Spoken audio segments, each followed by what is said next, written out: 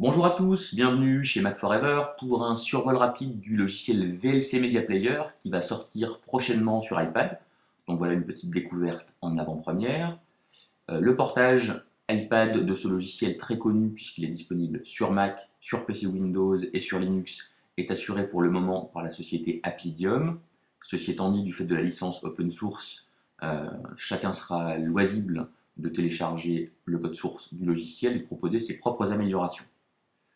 Pour le moment, c'est un logiciel qui est assez simple, pas complètement finalisé, pas encore complètement optimisé. On a rencontré quelques plantages lors de notre utilisation, mais c'est déjà un assez bon lecteur vidéo qui est sans problème au niveau des solutions déjà présentes sur l'App Store. Pour ce premier exemple, on est en train de lire un fichier XVID de 720 par 400 pixels, donc qui est encodé depuis un DVD, il s'agit du film Jeremiah Johnson. On ne rencontrera aucun problème à la lecture, tout est fluide, il n'y a pas d'artefact particulier. Le déplacement au sein du fichier se fait là aussi fluidement, il faut à peu près deux secondes pour se recaler, c'est un délai raisonnable. Les choses restent très bonnes sur un fichier avec un débit vidéo plus important, encodé en H264 et qui fait 640 par 360 pixels. En l'occurrence, il s'agit d'un podcast de Forever. Là aussi, pas de problème, lecture fluide, déplacement dans le fichier fluide, pas de souci.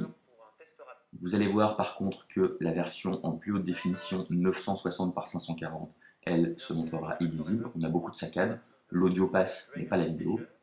Alors il faut savoir que d'après le développeur principal de VLC pour iPad, à savoir Romain Goyet, Apple n'autorise pas l'utilisation du décodage matériel du H264, euh, chose que par contre elle fait elle dans son application de lecture vidéo.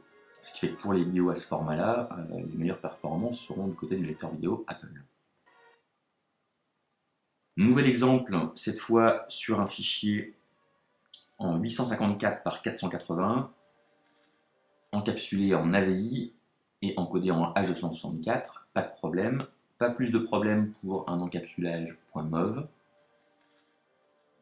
à la même définition. Par contre, vous allez voir que dès qu'on arrivera au fichier HD, qui est euh, désigné dans la liste euh, par un petit bandeau HD, d'ailleurs dans cette liste vous avez aussi un petit, euh, un petit symbole de montre qui vous indique que le fichier a déjà été lu et que vous pouvez reprendre la lecture à l'endroit où vous vous êtes arrêté. Voilà, quand on lance le fichier HD, vous voyez que VLC nous fait une petite alerte nous disant que l'iPad n'est certainement pas assez puissant pour lire ça, et de fait, l'iPad n'est pas assez puissant pour le lire. Donc la seule solution serait d'avoir accès à, l'accélération matérielle, euh, parce qu'on peut douter que malgré euh, les optimisations à venir du code source, on arrive à améliorer suffisamment les performances. Voilà, mon état actuel, c'est déjà un bon lecteur vidéo, et on espère que ce survol vous a intéressé. On vous dit ciao et à bientôt sur Mac Forever.